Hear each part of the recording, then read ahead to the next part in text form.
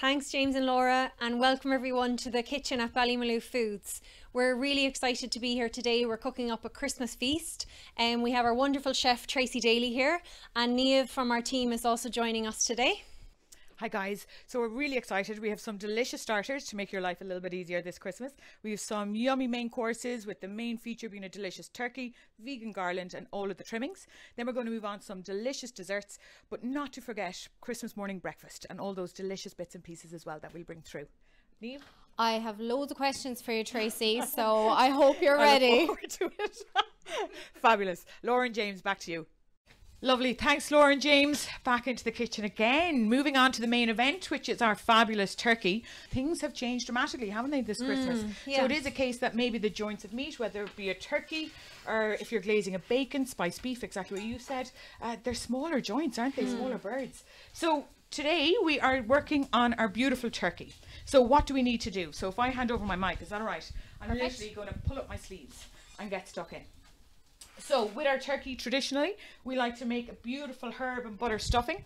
Um, and so what I want to start with is just take it out. So don't assume that the turkey is empty. Always assume that there may be something in there. Parcel of goodness. So a neck, gizzard, heart. Uh, it depends on what you're into. In here we have fabulous neck. So this makes a stunning um, stock. Really, really delicious. So for any of your soups after Christmas, pop in the neck. The carcass, when we're finished with it as well, that will make a beautiful broth as well. So that might take three days, the size of this bird, by the time we get through it. Uh, but remember, always check inside the bird first, okay? Okay. So today what we're going to do is we're going to wrap it in a buttered muslin. So that's going to help keep it moist because I think that kind of is the trickiest part of Christmas, isn't it? How do you keep that bird lovely and moist? So there's a couple of different things that you can do. One is buttered muslin. So we'll do that in just a moment. So what you do is you pop the muslin into melted butter and then you wrap the bird in that. Another way, and for some this is uh, a bit trickier because it's brining. And the reason it's trickier, it's not because brining is difficult. Brining is very, very straightforward. It's a water and salt solution.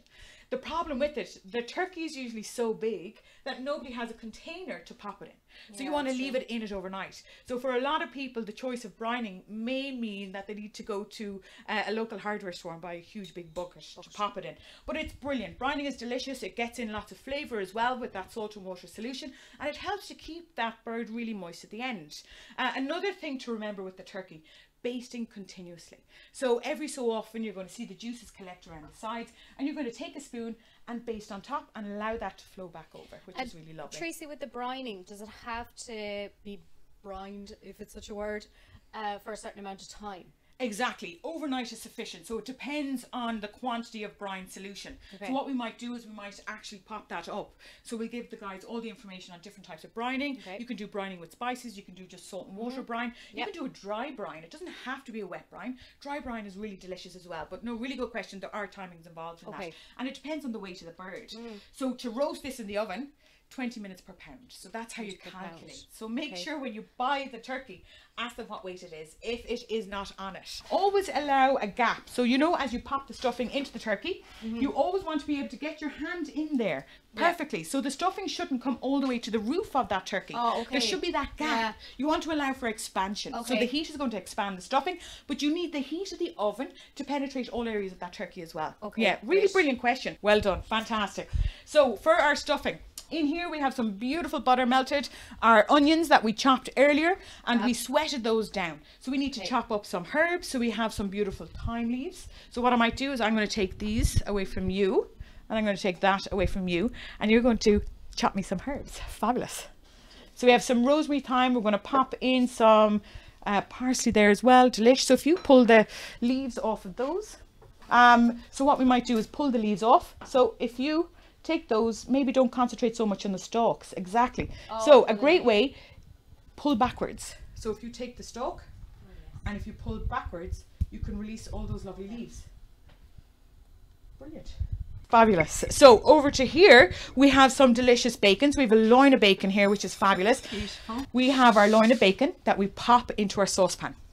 We're going to cover it fully with cold water Lovely. and we're going to do 20 minutes per pound. So the cooking time per weight, 20 minutes per pound. So this is four pounds. Okay. So if we calculate that, then it's 80 minutes in the saucepan. Brilliant. Perfect. Cold water up to the boil and then simmer. Okay, and leave it on. That's it. That's the- it, okay. exactly. Yeah. So one or two things you can do, you can use a skewer to check. So Okay. if the skewer goes in and goes out really easily Yeah. without hesitation, that's a really good indication that it's beautifully cooked. Okay. Then we have beautiful spiced beef. That's very Cork, isn't Oh, it? it is very Cork, Very yeah. traditional. Yeah. Definitely very Irish. So it's Yeah. beautiful. It's spiced beef. The reason this came about and the reason it's as popular today as it was back then, they started this in order to preserve meat. It's really, really clever. So it's a curing process Okay. because they didn't have refrigerators or electricity, which is a time long, long, long, long time ago. Yeah. Um, and as a result, they created this beautiful meat. Okay. So it's pimento berries, juniper berries, Oh, wow. uh, cloves, um, black pepper, and so it's a dry brine. Yeah, Okay. really delish. So it keeps the meat for months on end. Okay. Absolutely terrific. And once cooked, that will last in your fridge for a couple of weeks. How are we getting on? Uh, yeah, I'm getting there, Tracie. Fantastic. Fabulous. Pop that in here. Love it. So now, if you pop in our breadcrumbs, and that's it. How lovely. Combine the two. And what must we do now, Neve? We have to let Sure, this. Yes, good woman. So we've managed to do a lovely clean up and a tidy, and we've had our meat on simmering away beautifully, and so we're ready to follow through on those. Neve, would you mind? I'm going to pop you your microphone. So we're going to start with, and Maxine, mm. shouldn't be too hot. Is that all right? Oh, perfect. So in here we have our bacon, our loin of bacon, and Neve, what I'm going to get you to do is glaze this. So we're going to score it and then glaze it. So if I give you my microphone, Yep. fabulous. So I'm going to pop that out of the water. Delish. I'm going to pop it onto that bacon tray. So we have our Ballymaloe glaze, and this just makes it all so much simpler, doesn't it? Having that glaze in that jar Ready just takes the pressure out of it. Jobless. And this is something you could consider. You could actually make this the day before. You don't have to do this on the day because I think on Christmas Day it's really important to utilize your ovens as best as you can and don't overdo it at all. So this can definitely be done the day before. So you'd be you. having a cold Thanks, Maxine. problem. Brilliant. I'm going to pop this in front of you. I'm going to take your microphone Okay. and we're going to score that fat. So, what I want you to remember, Neve, I don't want you to cut through the fat fully. I don't want you to expose the flesh. I just want you to gently score just for a little pattern. We're going You're to do diamonds. too much No. of me, Tracie, are you? so no exposing the flesh, just a gentle score. So the weight distribution on your hand, not too heavy-handed. Yeah, lovely, beautiful. And you want a nice uh, pattern to this, I That's presume. it. As beautiful as you can make it would be absolutely ideal. So the size of the dish that we've popped this in is just as important. The wider the dish, the more easier it is for that glaze to burn, and we don't want that to happen. The idea behind this, it goes in at 230 degrees for around 15 minutes. Wow, hot. And as the glaze rolls off, we want to catch it and baste it on top. So we want to create that beautiful, delicious layer system. Fab. Yeah, really good. So this product, absolutely stunning, ideal for it.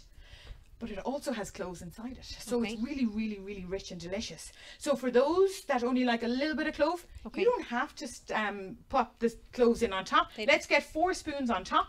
And the cloves are Nice, in generous the flour. spoons. Don't be so mean. Yeah.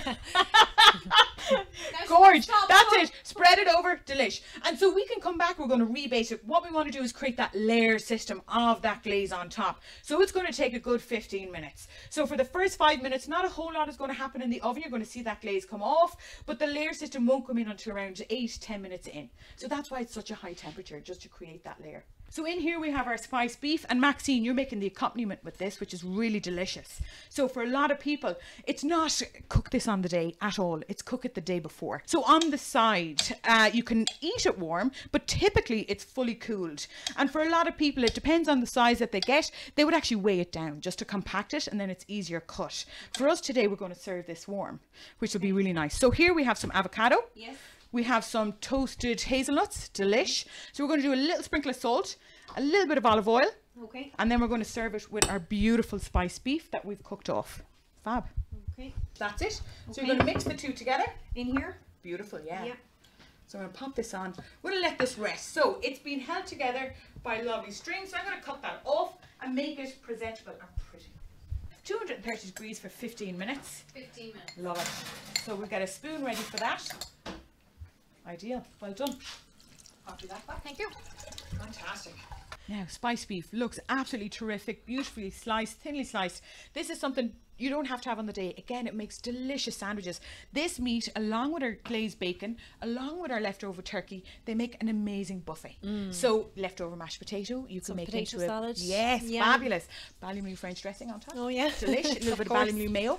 Mix that through. A little bit of chopped spring onion, my own personal preference, which is really delish. Over here, then we have our vegan garland. delicious. It's so pretty, isn't it? This is absolutely gorgeous. So this is a real celebration of Irish vegetables. Leek, parsnip, carrot, onions, garlic, really delicious. We have peanut butter. You can use cashew uh, nut butter. Doesn't have to be peanut butter. Uh, we have red lentils. So the red lentils are cooked in a vegetable stock just to give that extra flavour, which is lovely. And then in the centre, we have Brussels sprouts. Who doesn't love Brussels Everyone's sprouts? favourite. Everyone's favourite, the nation's favourite. And on top, we have beautiful smoked paprika, bit of chili, uh, tossed in that as well, and then lovely wedges on the side. How fantastic. So when we come back, le pièce de résistance, we have our beautiful stuffed turkey that, if you can smell, ladies, is nearly ready to come out of that oven. Look forward to it. Lauren James, back to you. Lauren James, great to have you back. It has been wild, mammoth, absolutely mammoth. The ladies have been absolutely fantastic, and as you can see, the spread in front of you is glorious. So everything is busy behind the scenes, all coming together nicely now. So, Neve, over to you. Your glazed bacon. So, I'm so proud. Tracie. yeah, it well done. I'm so delighted for you. Great color, beautiful Yeah, garnish. it's so easy. yeah, So isn't it? easy. Yeah. and yeah. so tasty. So this leftovers, sandwiches, buffet, salad, anything goes. So the turkey we have out of the oven, the beautiful turkey with our muslin in there, and we've got beautiful juices in there. So we want to separate the juice from the fat. And how do we do that? So we're going to pour all of that off into our saucepan. We're going to give it a couple of minutes just to relax so that the fat rises to the top. A couple of ways to take that off. You can use a spoon but it's beautiful so don't throw it out. Keep it in a small bowl because in a couple of days like our roast potatoes here we use goose fat for those today but maybe tomorrow the next day you can make beautiful roast potatoes using that turkey fat. Oh, so how fabulous. So don't waste it. And what are you doing with the juice then? the juice. Great question. We're going to make delicious gravy. Now controversial kind of like sherry trifle you know how do you like your gravy uh, it's different in everyone's house isn't it Yeah, that's true. Yeah. so what I might do, I'm going to add a little bit of stock. Okay. I'm going to reduce it down, and I'm going to taste it. Once that flavour is really, really beautiful and delicious, I'll see if it's still quite watery. I'll add a bit of roux, so you can have a gluten-free roux, or you can have plain flour butter roux, whatever suits you and your household, depending on dietary requirements. So we'll have a quick look. We're going to take off the muslin. Sounds lovely. Actually, the smell is absolutely outstanding. I wish you guys were here.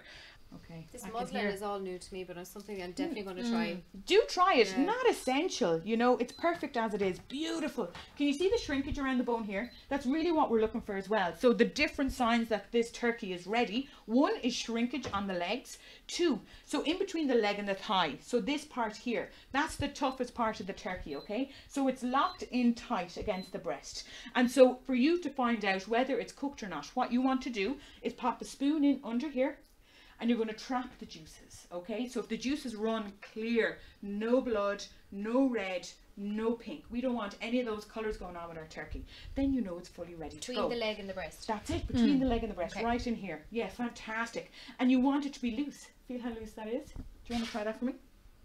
Okay, yeah. yeah? Hmm. You know it's cooked. So the shrinkage on the leg it's loose to touch and the juices are clear. Fantastic beautiful.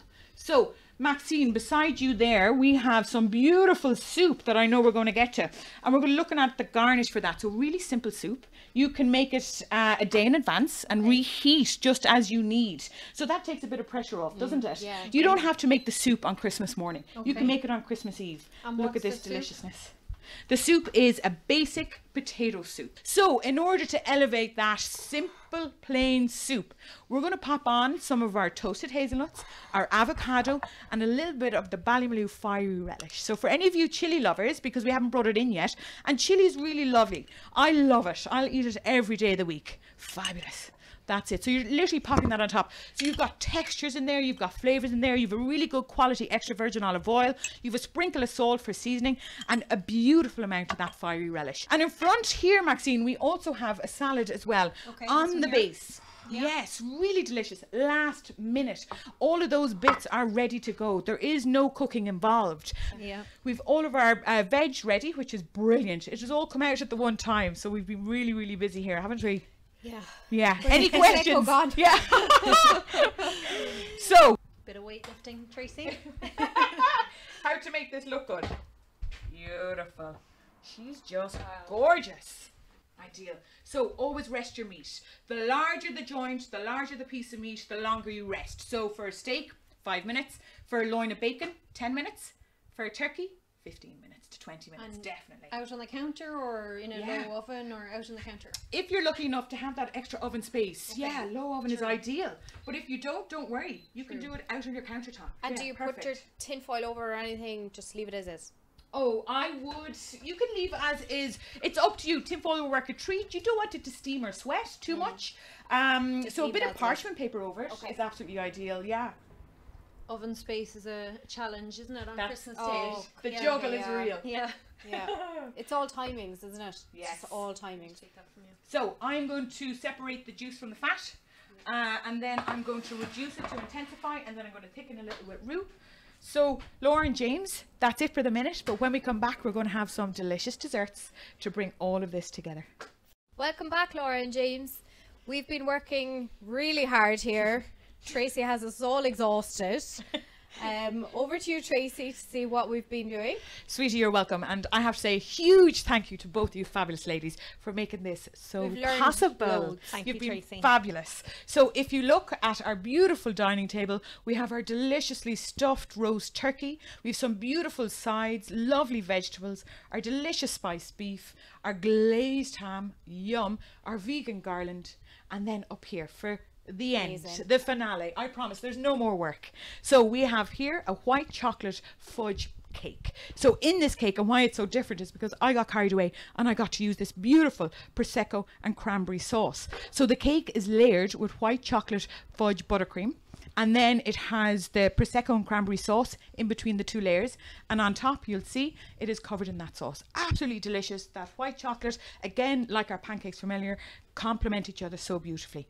Moving on over here, got carried away again. There may be white chocolate and cranberry in here as well. So it's a white chocolate and cranberry bread and butter pudding with a white chocolate custard on the side. Absolutely delicious. Softly whipped cream, a must for all of these desserts. And le pièce de résistance, again, a little controversial uh, because trifle in every household is a little different, isn't it? So here we have sherry and cranberry trifle made with the Ballymaloe cranberry sauce. Again, I know, ridiculous. I got carried away and I loved it. Thank you, Tracie. And thank you, everyone, for joining us here today. Uh, we've had a lot of fun. Um, everyone's getting some Ballymaloe products in the goodie bags, so including you, James and Laura. So I hope you enjoy. Um, we just like to wish everyone a healthy and safe Christmas this year. Thank you. Happy Christmas, everyone. Happy Christmas, everyone. Thanks for joining in. Oh, wow. Fabulous. Thank you. Merry Christmas. Christmas everyone.